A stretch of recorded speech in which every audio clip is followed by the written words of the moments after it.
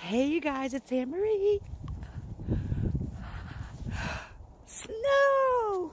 And because I ain't no spiritual punk bitch, I came back. I came back to the place where I was knocked the fuck out by a tree branch. I don't even like to say the word branch because it was bigger than a fucking branch. It was huge. And of course, because it snowed, I can't find it. Uh, I'm just gonna look for it and make it a walking stick. It would have been too, actually too wide for a walking stick. Um, actually, but I was just gonna, I think about it, but I was just gonna take it for a souvenir and make something beautiful out of it. Like I do everything. So, but I think we're kind of ass out on that idea. But it was a great idea. Let me show you what we're looking at here. Yeah, it, there was, I mean, I'm obviously surrounded by trees. But as you can see, they're not really big. But of course, when shit falls from a high distance, um, it can hurt. Feels a lot heavier. Um, it was something like this. It was bigger than a, a little bigger than that. But that's neither here nor there now because we're, we're back. We are revisiting the trauma site because that's what we do. And you know, that almost looks like it right there.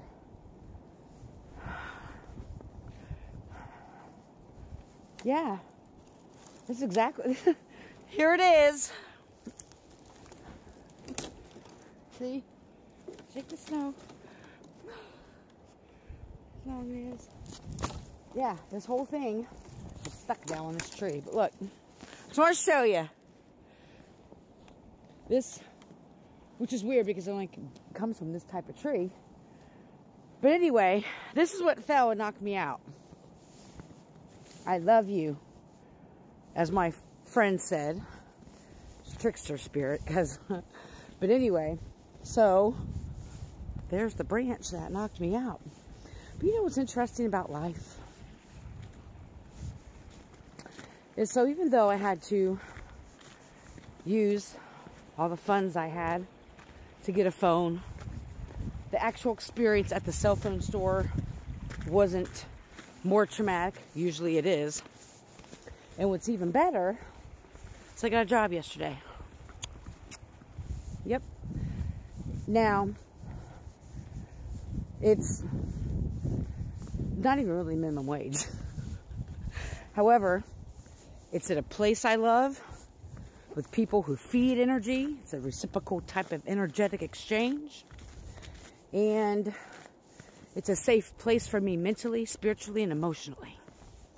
And though it's probably only for a month or two, it'll be enough to provide the cat food, gas in the car, and, you know, paying my cell phone bill so I won't have to, you know, ask people, which I hate asking for help. I'm still working on that. So I am so grateful. And you know what's different about me today? Is how I know I've grown a lot. And I know we live in a monetary society. Money, cars, money, cars, hoes, and bitches. or whatever. Um, that doesn't drive me anymore. Now, how that's gonna work, it's been working somehow. I've been, I'm grateful for those who have helped me out, short term, long term, whatever way.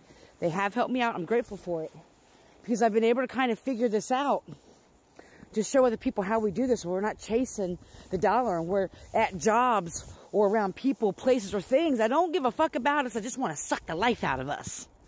And then we wonder why we end up being 30, 40, 50, 60 years old, unhappy as fuck.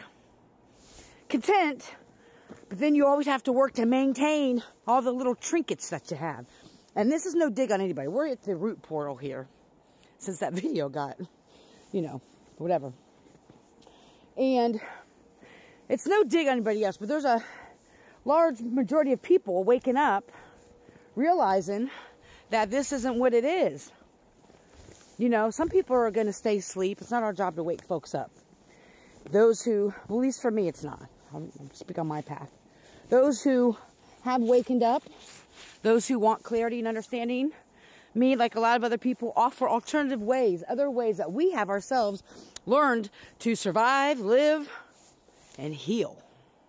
Heal is my thing. Better ways to heal that haven't been presented to me in the past. I've been able to do that by incorporating not just my, not really my education at all, my life experiences and what my spirit guides and Mother Nature and my team have shown me and taught me and how I've had to learn myself through doing it. And it's weird because it's not be careful, Amory. It's not as easy as, oh, go do this and this works. Not for me, it wasn't. I had to trial and error, trial and error. A lot of fear, a lot of, you know, double backing, a lot of having to do things over and over again or different ways. Those birds flying above me. To kind of figure that out for me.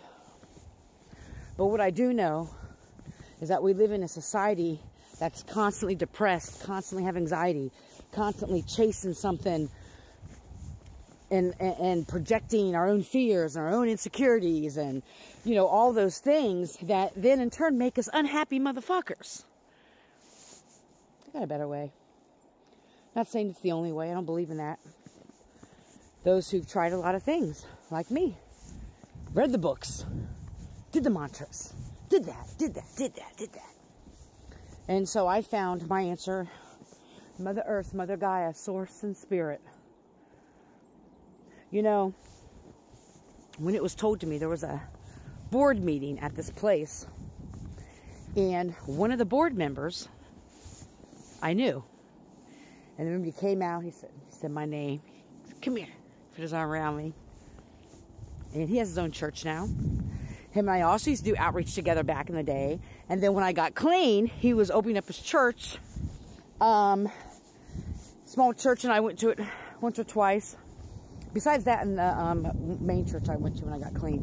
Uh, those are the only ones I'd go to. And he's a diehard, you know, pastor. And he was saying, you know what, there's no other person better for this position because of your testimony. And in my mind, I'm thinking like, oh, Mr. Hall, you haven't even known the last two years. You know, the person I am today is definitely different than even the person you knew two years ago. But that's neither here nor there. And it reminded me and gave me this breath of fresh air of, uh, it doesn't matter what you go through. It doesn't matter. I mean, you guys, not even a week ago, I was prepared to sleep in my car. And I was okay with it. I was okay with not just, but volunteering at a place that I love.